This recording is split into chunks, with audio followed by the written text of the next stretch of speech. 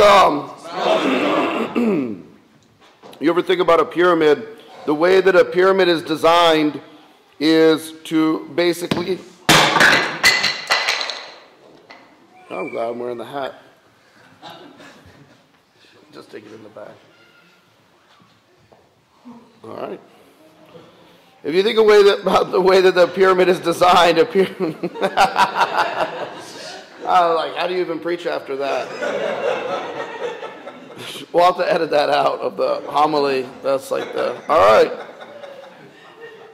Spraznikov. All right. If you think about the way that a pyramid is designed, a pyramid is designed in order to disperse the weight, right? You have one layer on the bottom, but since you have so many subsequent layers uh, or levels, you could say, there's an overwhelming amount of weight, and that weight has to go somewhere. And so you create basically a bigger base. And the design behind the bigger base is that it would disperse the weight so as not to crush the base, right?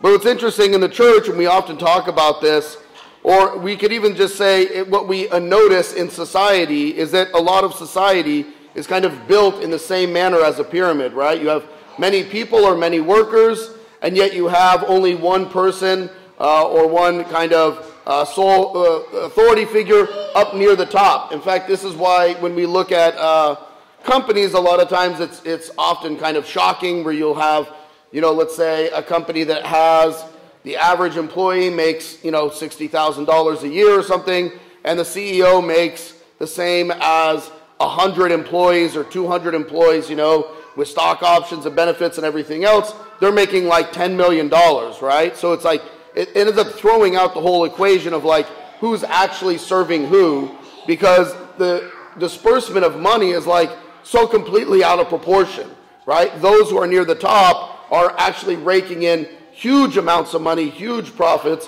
whereas everyone along the bo- on the on the bottom is like basically barely sustaining themselves. You know, they're like barely making a living wage. Sorry, I can't.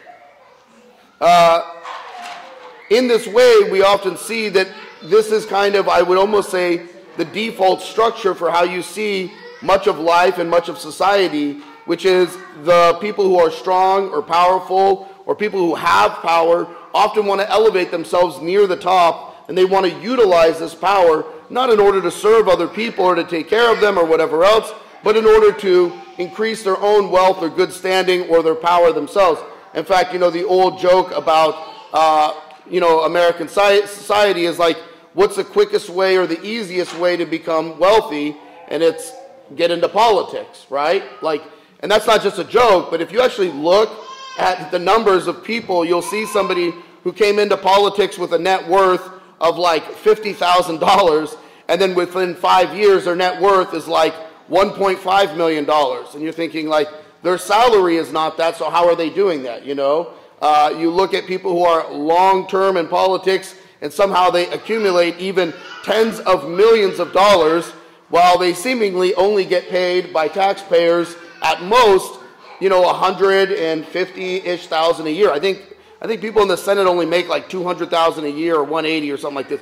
And and and that's not only. I mean, that's that's a good income, but you can't generate you know, multiple million dollars of worth off of an income like that. It, it's impossible, right? So the whole point is, is that you're utilizing your power and your influence and your position in order to curry favor with people who are also higher up in order to kind of keep everyone else at a certain level so that you're able to rise up. That's what we see in society. We see it in business, we see it in politics, we see it in our society. The interesting thing is that the church is the inverse of this. It is, it is, we often talk about the pyramid that is flipped upside down. It's the inverted pyramid. And what we mean by that is not that Christ stands at the peak of the pyramid ruling down over all the people, right? but rather that Christ takes himself and puts himself at the bottom of the pyramid, and the weight of all the people of the whole church rests on him. And on him, he places the apostles, the preachers, evangelists, martyrs, confessors, ascetics.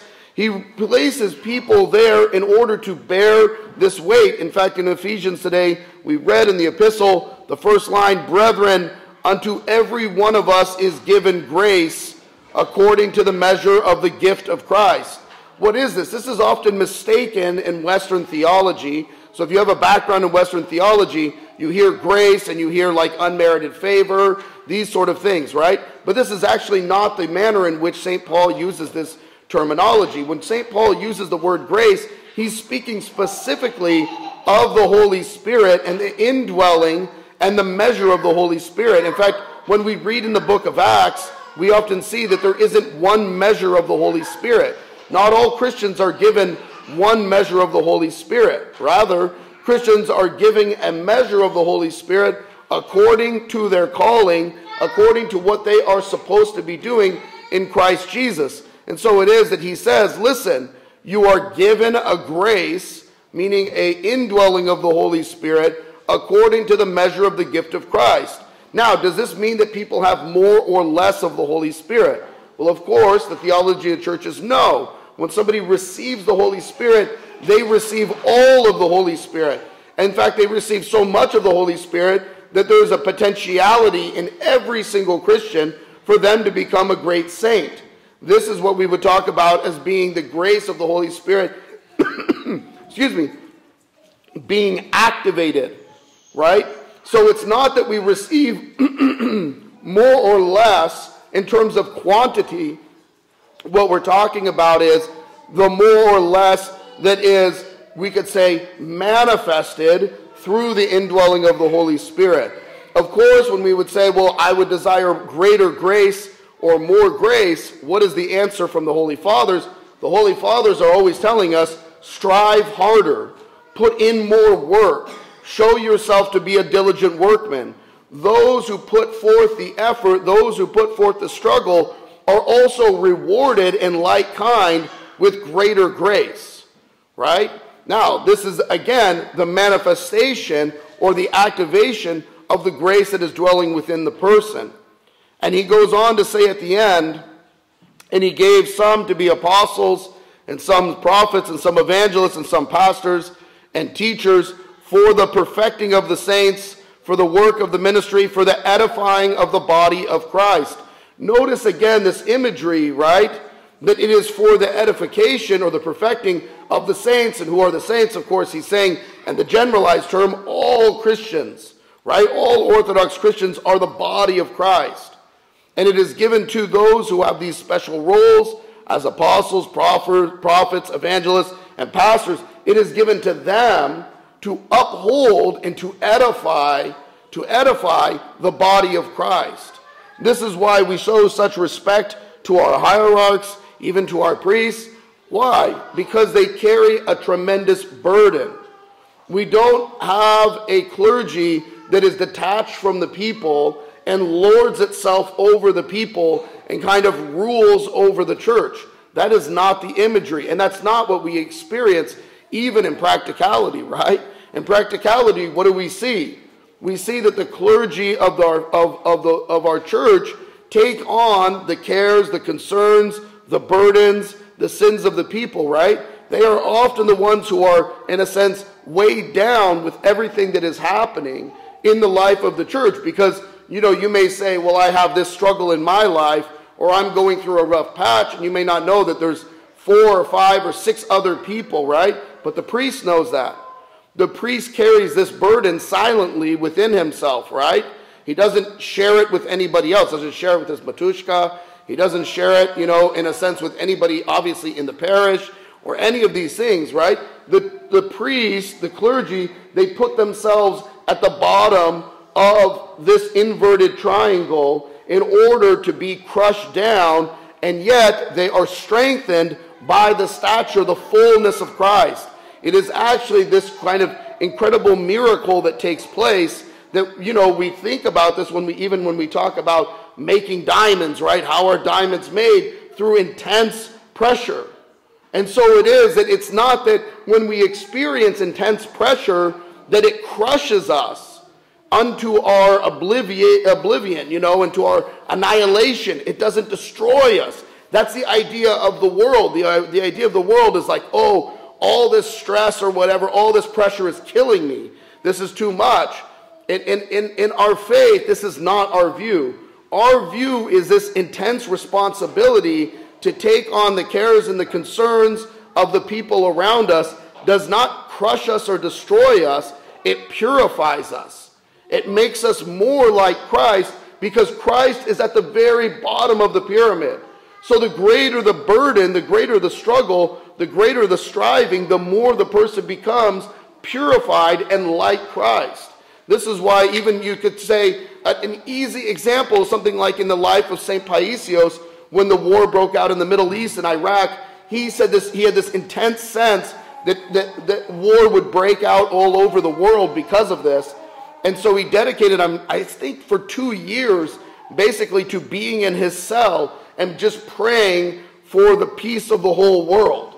And like ceaseless prayer, I mean, you can't imagine what a struggle and what an asceticism he undertook, a burden for the whole world in order that peace would be preserved. How else do we see this vision of the inverted triangle that we see kind of perfected in the life of the church? Well, the other place that we see it most abundantly and most readily is what? In the family. This is the vision of a Christian family. The vision of the Christian family is what? Christ is at the very bottom of the pyramid. He is always the one on which we build and grow and have our foundation, right? But then who's who comes after Christ? The husband, right? The father of the family puts himself down in that role, in that position of being crushed. And then on top of him, right, the wife, and then the children and the needs of the family.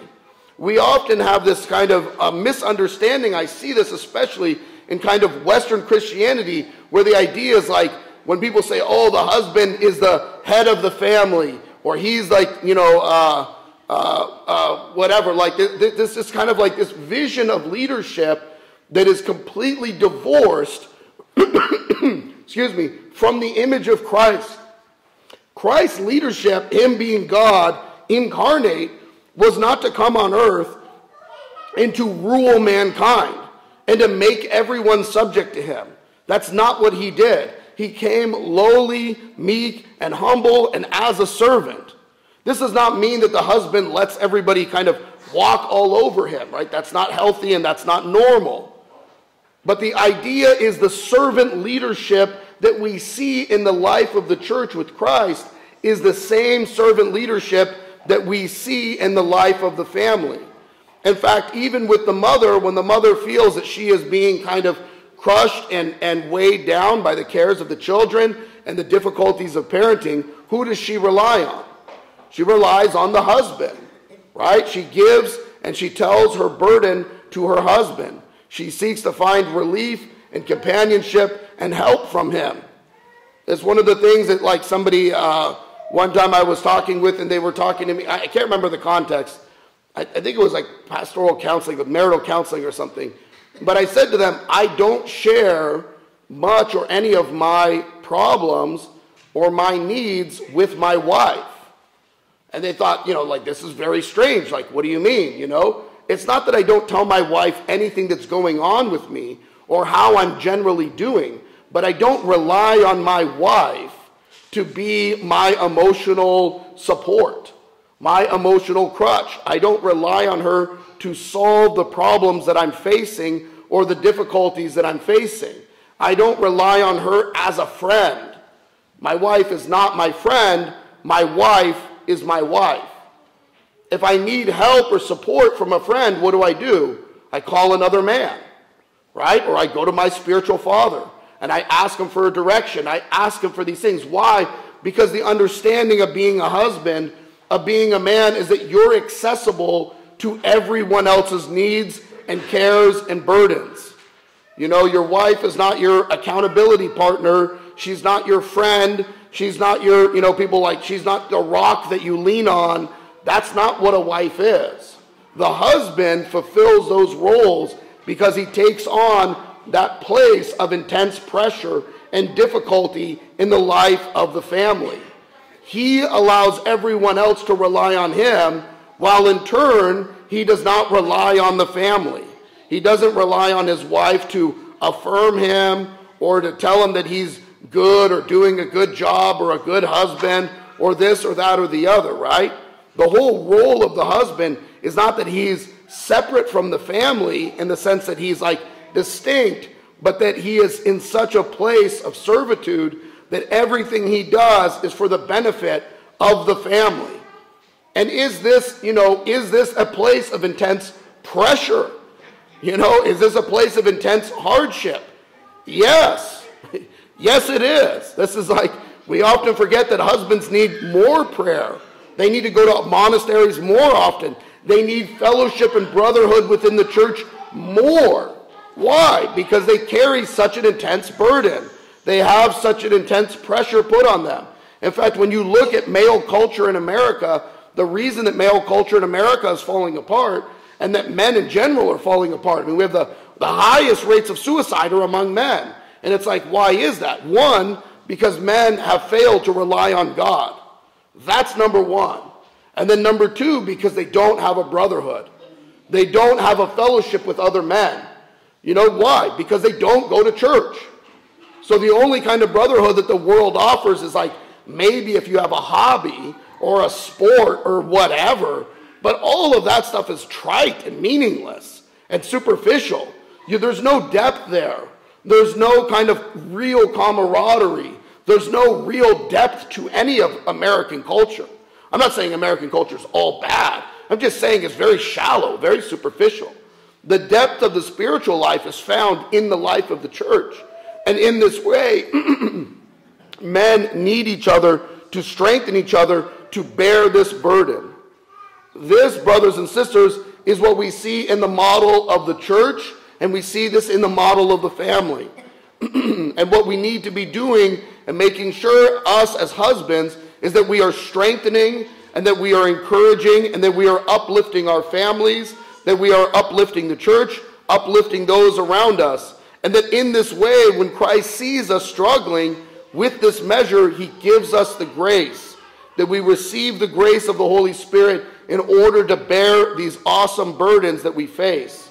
If we have the grace, what do we hear from Christ? My burden is light and my yoke is easy.